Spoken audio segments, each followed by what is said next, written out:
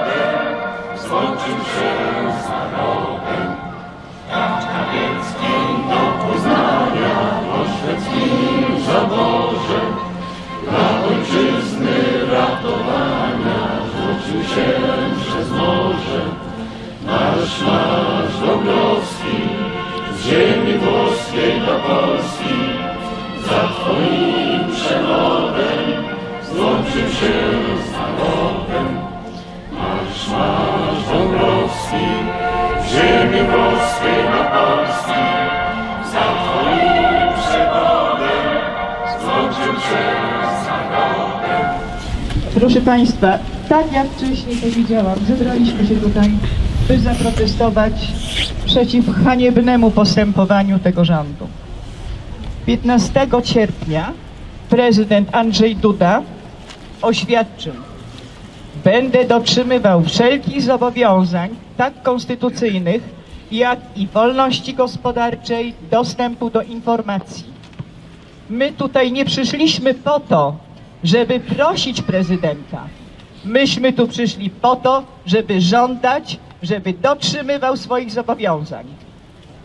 Jeżeli nie, to być może doczekam tego, że będę widziała pana Andrzeja Dudę w całkiem innym miejscu.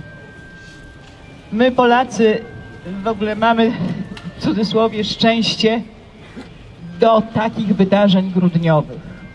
Grudzień 70. Wiadomo co było, były ofiary. Grudzień 81. Tamta władza zafundowała nam niespodziankę prawie podobną do tej, która jest obecnie, którą nam funduje rząd. I od 2015 roku w każdym, każdego miesiąca, który nosi nazwę grudzień, w Polsce wybuchają protesty. W grudniu 2015 roku w Sejmie nastąpiło, nastąpiło coś, co spowodowało, że ludzie wyszli na ulicę.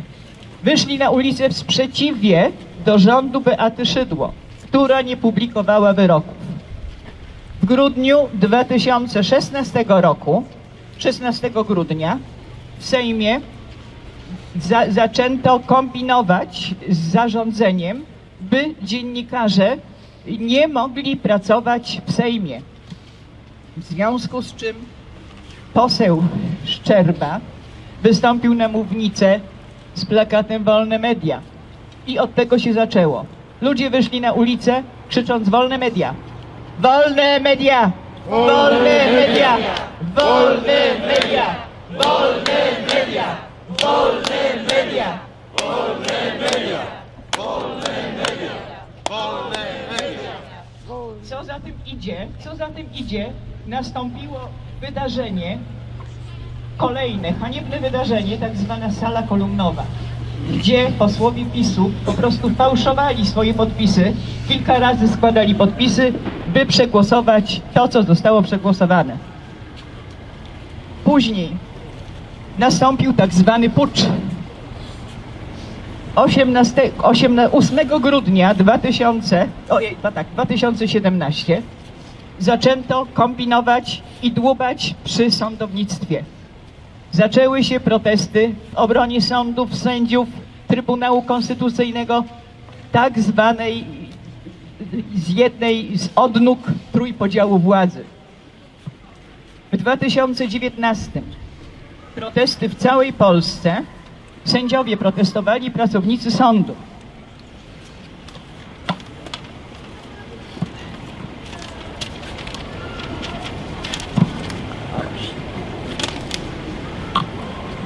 W 2020 troszeczkę zwolniliśmy z protestami ze względu na pandemię.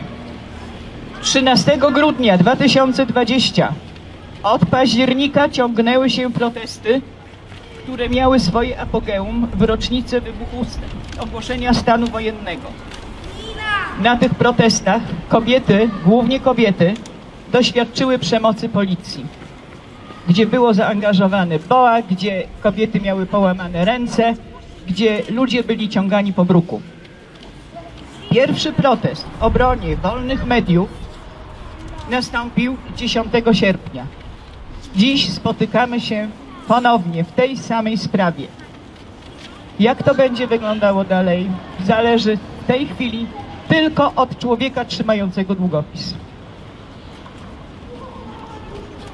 Proszę Państwa, ja mam na razie tyle. Czy ktoś chciałby zabrać głos? Tutaj mam zapisanych mówców. Bardzo proszę pana posła Szymańskiego o zabranie głosu.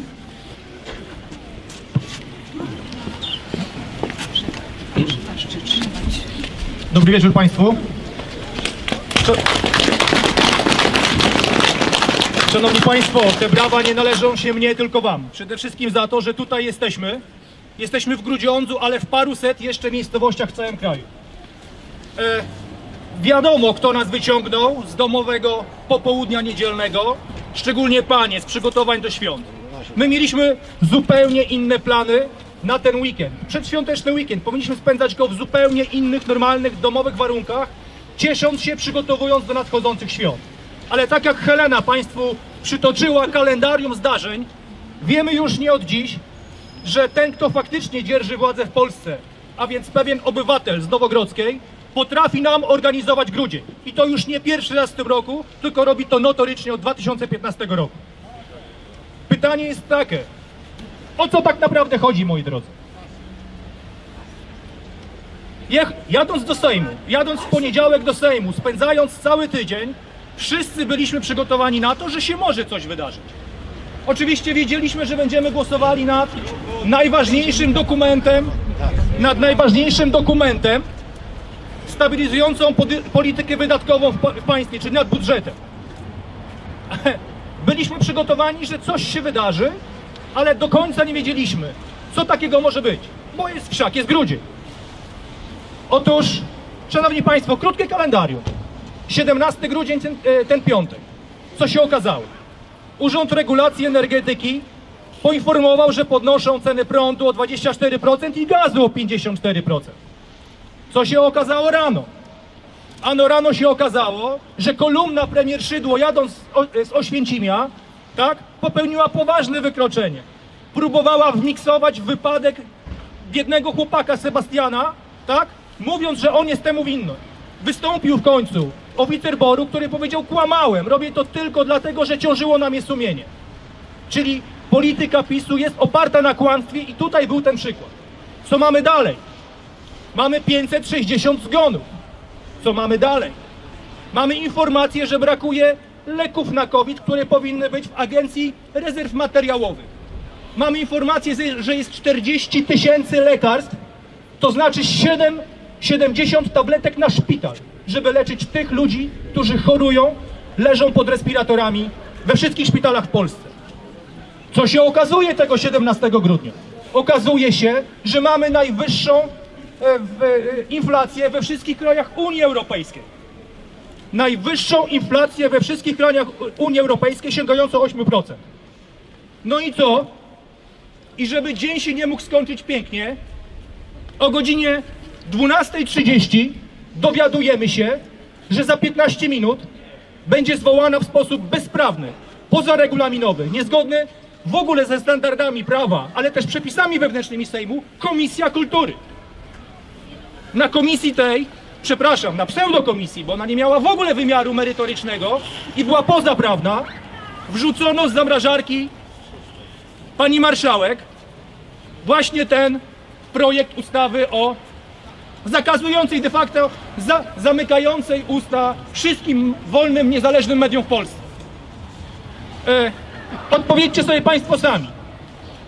Czy to było celowe zagranie, czy w pełni przygotowane z premedytacją?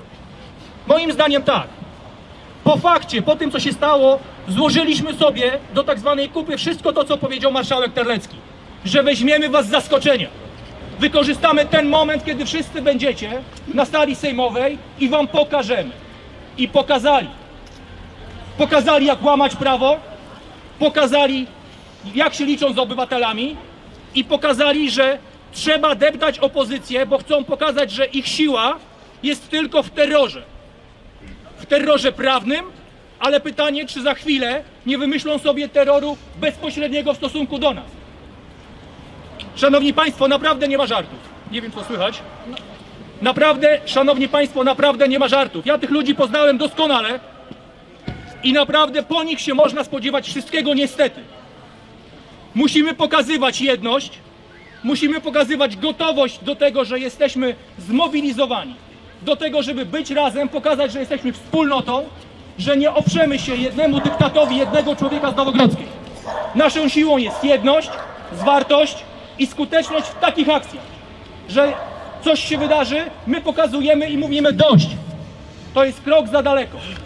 Szanowni Państwo, dzisiaj w całej Polsce są nas setki tysięcy, może i miliony.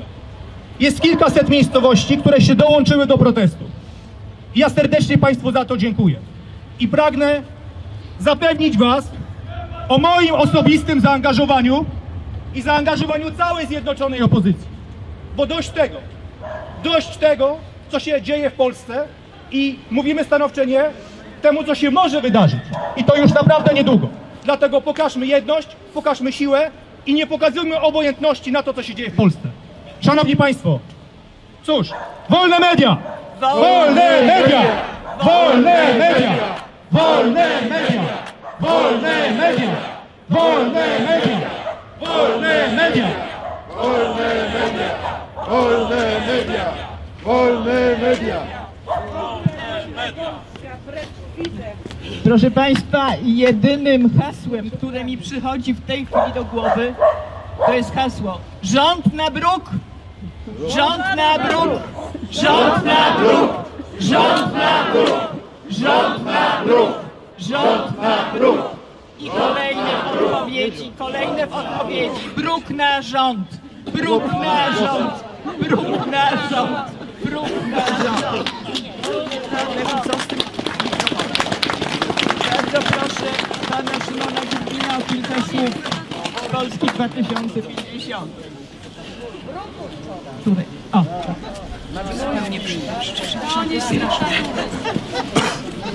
E, dobry wieczór. E, szanowni Państwo, ja również chciałem Państwu... E, Również chciałem Państwu bardzo podziękować za to, że zechcieli Państwo tutaj w ten e, niedzielny, spokojny wieczór przyjść. E, Jest nas tutaj całkiem sporo. Idąc tutaj nie liczyłem, że będzie nas tak dużo. Spotykaliśmy się tutaj z różnych powodów podczas akcji organizowanych przez KOT i z reguły było nas mniej, ale widać, że ten sprzeciw i ten znak niezgody na to, co się e, dzieje w Polsce, rośnie w nas e, i musimy, Szanowni Państwo, zresztą tak jak mówił Pan poseł przed chwilą, musimy być w tym solidarni. E, Możemy się różnić poglądami, ale mamy naszą wspólną Polskę i musimy się bić o to, żeby ta Polska była krajem wartości, takich wartości fundamentalnych. Szanowni Państwo, nie jesteśmy tutaj dzisiaj z powodu jednego programu telewizyjnego. Jesteśmy tutaj dzisiaj, bo e, Państwo dobrego ładu, dobrej zmiany e, depcze fundamentalne prawa. Teraz depcze prawo do wolności słowa, e, chce nam odbierać wolne media, ale wcześniej to państwo e, dobrej zmiany zdeptało naszą konstytucję, zniszczyło trójpodział władzy, zniszczyło wolne sądy i to są te wartości, te nasze obywatelskie prawa, których nie możemy pozwolić sobie odebrać. Jeszcze raz mówię, musimy tu być solidarni mimo naszych jakichś e, podziałów. Jest coś, co nas łączy. To jest znamienne, że o te podstawowe wartości musimy się teraz dopominać e, w rocznicę, w 40. rocznicę e, stanu wojennego. Wtedy pod znakiem e, Czarnej Wrony e, Wojskowa Rada Ocalenia Narodowego próbowała wprowadzić swój ład. Teraz ten ład jest wprowadzany pod znakiem kaczego drobiu, ale my mamy inny znak. Mamy znak Białego Orła, a ten orzeł symbolizuje silne przywiązanie do wolności. Tego nie pozwolimy sobie odebrać. E, Kiedy tutaj szedłem, mój znajomy, z którym jestem, puknął mnie w ramię i krzyknął precz z komuną. I to wcale nie jest e, żart. My dożyliśmy znowu czasu, kiedy e, wróciła komuna, a tę komunę wprowadzają ci, którzy tak bardzo się od niej odżegnują. Ale widząc Państwa tak dużo, jestem przekonany, że nie pozwolimy zwyciężyć złu, bo to już jest walka dobra i zła. Zatem demokracja. Demokracja, demokracja, demokracja, demokracja, demokracja, demokracja. Precz z kaczorem, dyktatorem! Precz z kaczorem, dyktatorem! Precz z kaczorem, dyktatorem! Precz z kaczorem, dyktatorem! Precz z kaczorem, dyktatorem!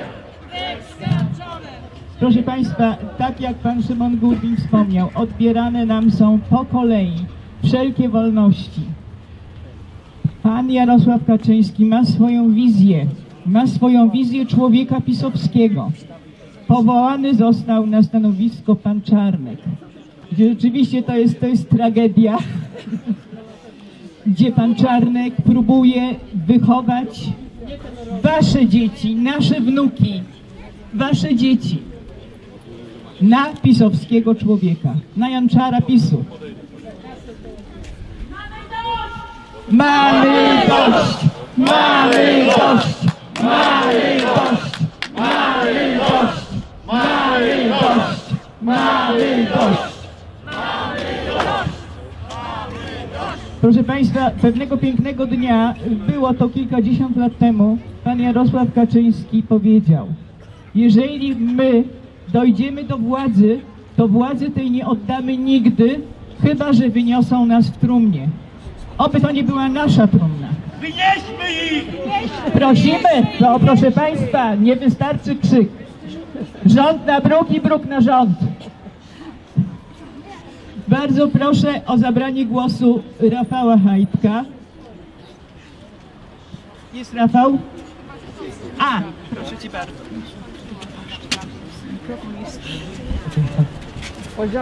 E, Dobry wieczór, witam Państwa. E, Dwa dni temu e, PiS pokazał po, dwa dni temu PiS pokazał e, po raz kolejny e, oblicze, swoje oblicze. E, Pokazał, że e, nie cofnie się e, przed, przed niczym, żeby zachować swoją władzę. E, Atak na wolne media. E, Teraz jak? Atak na e, wolne media jest zaraz po ataku na Trybunał Konstytucyjny, na niezawisłość, na niezależność sędziów, atakiem na demokrację w Polsce. Wiele, wiele środowisk mówi, że jest, e, jest to temat zastępczy. Zastępczy, żeby e, przykryć e, swoją nieudolność, nieudolność e, rządu pisowskiego e, przed walką z pandemią. Nieudol, e, swoją nieudolność e, w ten sposób chcą przykryć e, walką z galopującą inflacją. E, Czy również e, przykryć e, swoją, e, swoją nieudolność z aferami. Ostatnio ministra Mejzy. E, Czy na pewno e, w podobny sposób e, były głosy również podczas prac nad ustawą antyaborcyjną. Również wtedy się słyszało, nie zgodzą się, nie odważą się, tego nie wprowadzą. Dzisiaj ta ustawa obowiązuje. Dzięki tej ustawie nie żyje młoda kobieta. Musimy zrobić wszystko, żeby odsunąć PiS od władzy. Stoją obok mnie e, przedstawiciele różnych środowisk politycznych. Stoją tutaj z nami przedstawiciele różnych partii politycznych. Chciałbym, żeby tak samo było, tak samo to wyglądało zaraz po wyborach parlamentarnych. Pamiętajmy, że tylko zgoda i zgodna i rzetelna współpraca spowoduje, że osiągniemy wspólny cel. Odsunięcie PiS od władzy. Wolne media!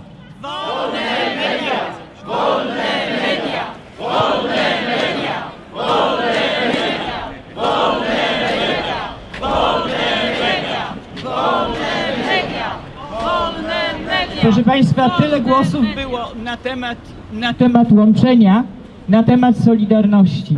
Więc zawołajmy głośno. Solidarność! Solidarność!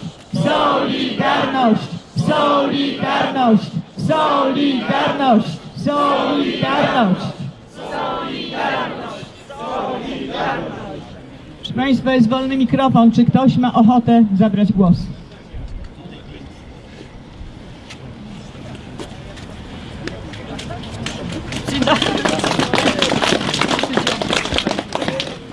nie mam zupełnie e, żadnych politycznych konotacji. Natomiast chciałbym powiedzieć, że ta władza jest silna, dlatego że e, opozycja, opozycji nie ma. Opozycja jest podzielona, opozycja walczy o swoje, to co może ugrać. Opozycja nie brała udziału w głosowaniu, kiedy przegraliśmy sądy. Opozycja nie brała udziału w najważniejszych głosowaniach w Sejmie, dlatego że pani się spóźniła, bo pani nie wiedziała, bo pan był gdzieś. To na nas, obywatelach, e, ciąży obowiązek wybierania. Bez względu na to, z jakiej opcji, oby nie z PiSu. I tu za wypowiedź moich poprzedników 8 gwiazdek.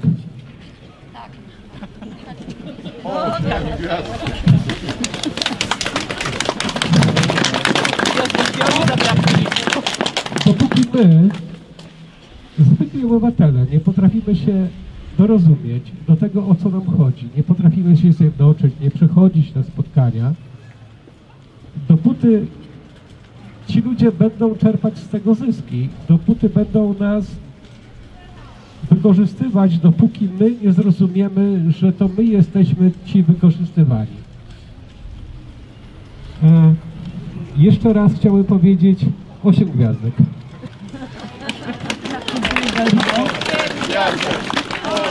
Gwiazdek.